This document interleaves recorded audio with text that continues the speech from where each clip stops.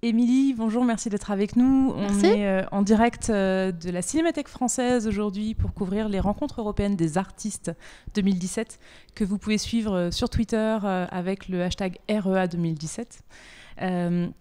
Émilie, tu sors juste de la conférence sur quelle structure pour mon projet. alors, avant de te poser des questions sur cette conférence, déjà peut-être est-ce que tu voudrais te présenter pour les personnes qui nous regardent? Oui, alors euh, je m'appelle Émilie Gonneau. Euh, ça fait à peu près 12 ans que je suis dans l'industrie musicale. J'ai commencé en maison de disques, en petite major ou en gros indé si on veut, euh, chez Feu EMI. En plus, ensuite en 2009, j'ai monté ma structure de management d'artistes et d'édition musicale que j'ai toujours et au sein de laquelle je lance maintenant mon label, Unico Music. Il y a 4 ans maintenant, j'ai aussi lancé une agence de com et de digital euh, qui est aussi organisme de formation. Donc, on s'occupe de community management, de stratégie pour des projets, des artistes, des salles de spectacle, des festivals. Voilà, je fais d'autres activités aussi dans la billetterie. J'enseigne à la fac euh, et à la Sorbonne et à l'EMIC, euh, entre autres. Et j'ai écrit un livre aux éditions Irma il y a un an qui s'appelle L'artiste, le numérique et la musique. Voilà, à peu près. je travaille avec des artistes au quotidien depuis 12 ans. Voilà, en gros. Superbe panorama. Euh, est-ce que du coup, tu voudrais nous dire sur cette euh, table ronde quelles sont peut-être les quelques idées fortes qui se sont dégagées? Je crois qu'il y avait beaucoup de questions avec le public. Alors, quels étaient les, les principaux centres d'intérêt qui ont été exprimés par le public et les idées qui s'en sont dégagées?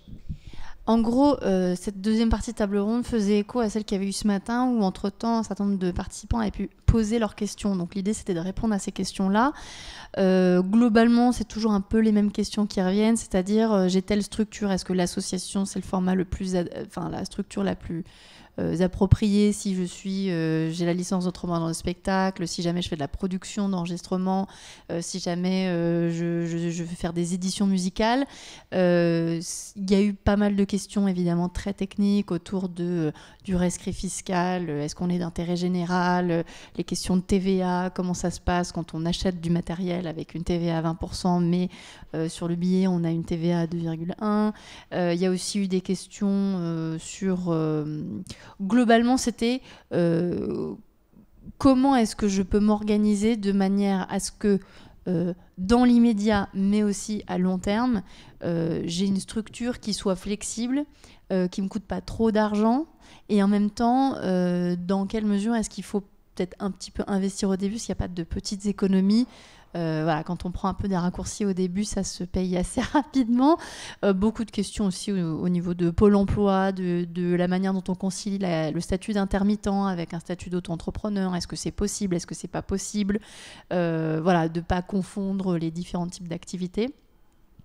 Il y a aussi eu quelques questions, notamment sur euh, euh, la question de comment est-ce qu'on valorise un apport dans une campagne de financement participatif. Si genre il reste plus que deux jours et qu'il faut mettre 3000 euros euh, voilà parce que c'est pas de la coproduction. C'est souvent des plateformes sur lesquelles c'est du tout ou rien c'est de la contrepartie. Il y a aussi eu des questions sur dans ce cas-là la personne qui met 3000 euros est-ce qu'elle peut récupérer 3000 euros? Sauf qu'en fait bah, ça marche pas vraiment comme ça. Il faut déduire euh, le mm. pourcentage de la plateforme, un certain nombre de frais. comment est-ce que les, les gens s'organisent entre eux? Voilà, c'était des questions euh, plutôt comme ça. D'accord. Donc euh, des questions très pratiques. Les participants étaient vraiment venus chercher les réponses précises euh, aux questions qu'ils se posent, peut-être qu'ils sont eux-mêmes en, en, train de lancer leur activité. Euh, soit ils ont lancé leur activité, soit ils sont en train de se rendre compte que le format de structure qu'ils ont choisi, notamment l'association, euh, de la SCOP, de la SIC, de l'URL, de la SARL, de la SASU, correspond ou ne correspond pas.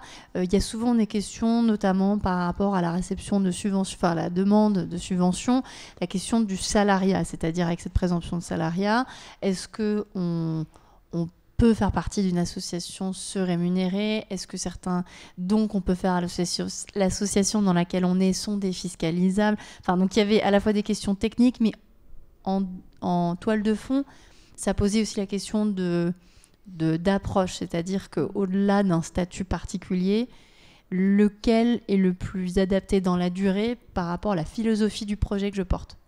Et au profil du projet qu'on porte. Si on n'est que interprète, si on est interprète et autrice, compositrice, par exemple, si on est euh, voilà producteur, productrice, voilà, c'était ça un peu la question. Après, c'est toujours. Alors, ça dépend. Si jamais on a de faire ça, c'est plutôt comme ça. Mais si vous avez voulu faire ça, envisagez ça.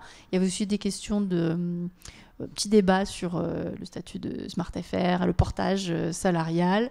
voilà, on, est beaucoup autour des questions de l'intermittence et de, de dans certains, certaines structures qui demandent un certain nombre de, garanties dans les demandes de subventions, il y en a qui sont parfois contradictoires. Par rapport à des demandes légales, dire on n'est pas obligé par exemple de se salarier quand on est artiste producteur, mais sur certaines demandes de subvention, on est obligé de montrer des bulletins de salaire qu'on se serait fait à soi-même. donc c'est des petites choses comme ça. D'accord. Bref, je vais pas ennuyer tout le monde. non, mais pendant les quelques minutes où effectivement euh, j'ai pu euh, me libérer pour passer sur euh, ta table ronde, effectivement on a l'impression qu'il y a énormément de questions autour de l'association, que l'association mhm. est encore un petit peu le, le mode d'entrepreneuriat par défaut pour les gens qui sont dans la culture. Mhm. toi, tu as monté plusieurs structures. Mhm. Comment est-ce que toi, tu as fait ce choix? Est-ce que tu t'es orienté vers l'association? Est-ce que tu t'es dit que c'était pas pour toi? Comment est-ce que tu as, navigué dans cette épineuse question de la structuration Il bah, y, y, a eu, y, a, y a deux facteurs à prendre en compte. Il y a effectivement celui du projet en question et il y a aussi euh, les modes de, ou les types de structures disponibles à un moment donné. C'est-à-dire que comme je, me suis vraiment lancée pour la première fois en 2009, à l'époque, le statut d'auto-entrepreneur venait d'être lancé, donc c'était genre le flou total. Euh, mais ça, je l'ai lancé au tout début pour pouvoir avoir un cadre dans lequel j'étais manageuse. Le temps de monter ma SARL avec un associé, donc SARL, qui était à l'étranger, etc. Euh, et puis, au fur et à mesure que les choses ont évolué, j'ai finalement racheté les parts, donc c'est devenu une URL. Euh, mais on a continué de travailler ensemble sous d'autres formats avec cette euh, ancienne associée. Et par ailleurs, sur New Agency, au début, on a monté ça en association pour tester le modèle, parce qu'effectivement, c'est beaucoup moins cher. On a parlé aussi dans, la table ronde, mais c'est toujours une question récurrente. Combien ça coûte? Entre l'expert comptable, les obligations, euh, euh, voilà, les dépôts, les frais administratifs, les dépôts légaux, etc. Il y a beaucoup de gens qui se disent oui mais l'association c'est très intéressant parce que ça coûte pas cher, parce que c'est vachement simple, parce que ça va très vite. Et le problème c'est qu'effectivement on a tendance à un petit peu à pas trop se pencher sur la question de à qui appartiennent les actifs de cette entreprise, association, euh, structure. Et c'est là où effectivement, euh, je pense que les questions sont intervenues parce que, en ce qui me concerne, l'association avait un sens sur l'agence parce que c'était du service. Euh, quand on est sur une partie édition avec des droits, etc., plutôt sur une société. Ça, c'est en ce qui me concerne. Et c'est vrai que sur My Open Tickets, donc je suis, je suis associée et ça, c'est une SAS. Donc il y a pas mal de voilà, il y a pas mal de, de, structures différentes. Tu as un petit peu tout testé en fait Pas tout. J'ai pas essayé la SCOP, j'ai pas essayé la SIC. Euh, et puis, euh, comment dire, j'ai pas essayé. Non, c'est vrai, à peu près ça. D'accord. faut essayer de nouvelles choses. C'est bien, il te reste des choses à faire. Exactement. Voilà. Euh, alors, on va changer de sujet pour arriver sur ton domaine euh, qui est ton domaine d'expertise, euh, le numérique notamment. alors, il y avait quelques questions, par exemple, sur le crowdfunding que j'ai entendu. Est-ce que tu veux parler en quelques mots du crowdfunding? Peut-être juste expliquer déjà à quoi ça sert pour un artiste de faire du crowdfunding, au-delà, enfin, y compris, mais aussi au-delà de l'intérêt juste de ramener de l'argent? C'est vrai que, en gros, il y a eu comment dire, il y a trois phases dans le crowdfunding. Euh, la toute première phase au tout début, quand le concept était super nouveau, avec ma major compagnie, etc. Les toutes premières avant Slice the Pie, Sell a Band, euh, c'était cette idée que les gens étaient coproducteurs. Euh, et puis ça a évolué. On très rapidement, à partir de Kickstarter, Ulule, KissKissBankBank, etc., on arrivait sur une phase qui est encore très euh, euh, majoritaire aujourd'hui. Cette perception que le crowdfunding c'est du financement participatif, c'est-à-dire que en échange d'un montant que les gens contribuent, ils ont une contrepartie. Donc c'est une espèce de préachat de packages divers et variés. Il y a aussi cette troisième type de génération de crowdfunding qui se développe, qui est plutôt au lieu d'être dans un financement de projet qui était quand même le point commun des deux premières euh, générations de crowdfunding, on est euh, dans le financement d'une personne d'un artiste, donc les youtubeurs, des artistes, beaucoup sur Patreon ou sur Tipeee.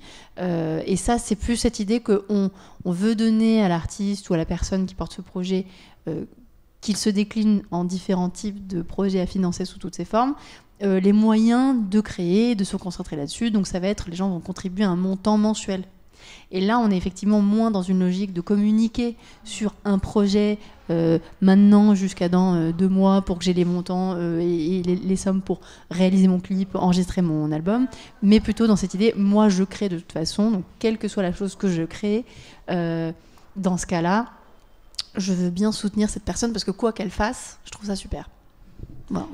Finalement, est-ce qu'on se rapproche pas un petit peu du mécénat?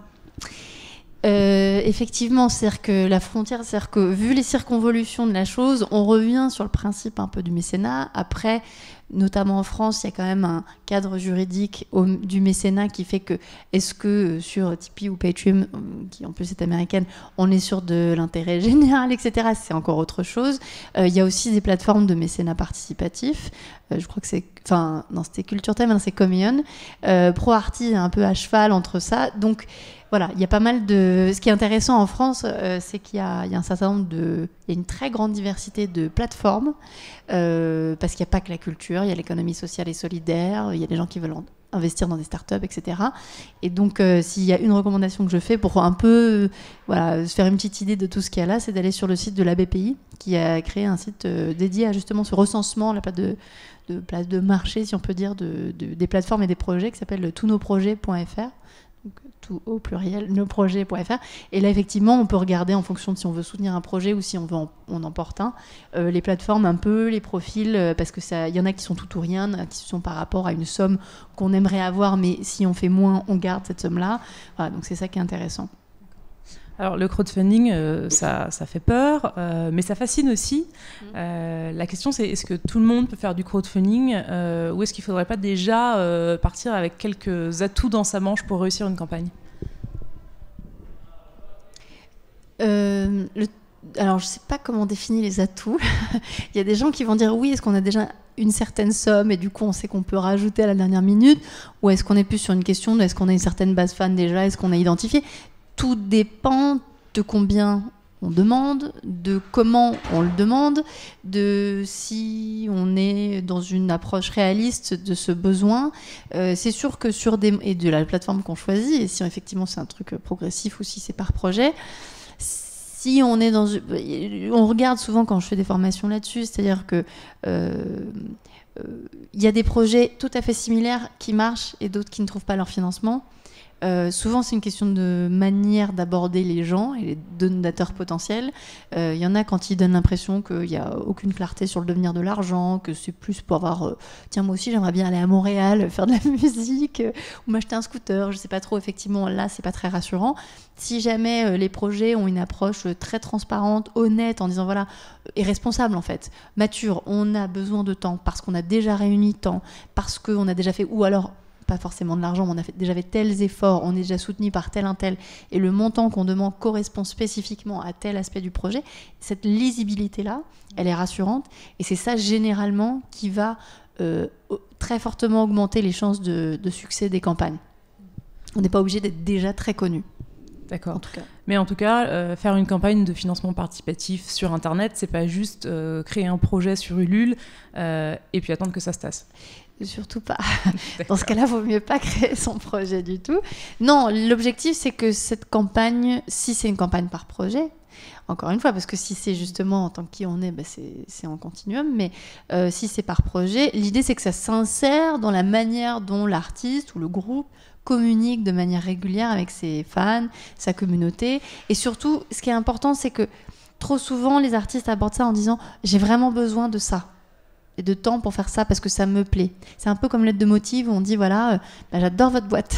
J'ai vraiment envie de bosser. C'est super, mais il faut aussi expliquer pourquoi les gens ont intérêt et ont envie euh, de, soutenir ce projet. Et ça, c'est une question effectivement qui, quand elle est Donc, En fait, il faut, il faut quand même s'intéresser aux personnes euh, de l'autre bah côté dont on sollicite les dons. Il, faut s'y intéresser, mais surtout trouver le point commun entre ces personnes potentielles et les valeurs qui s'incarnent dans lesquelles elles vont se reconnaître, qui s'incarnent dans le projet qu'on porte.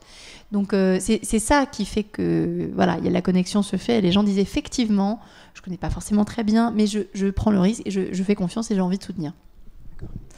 Merci beaucoup, Émilie. Alors, euh, je sais qu'on aurait énormément d'autres sujets dont on pourrait parler, mais ça, je pense qu'il faudra qu'on fasse un autre live à un autre moment et tu nous parleras peut-être des réseaux sociaux, je ne sais pas. Euh, en tout cas, merci beaucoup d'avoir été avec nous et nous avoir accordé un petit peu du temps. Merci. Euh, et puis, bah, je te laisse peut-être aller assister à une autre conférence. Il y en a une sur les candidats à la présidentielle et leurs contributions. Tout à fait.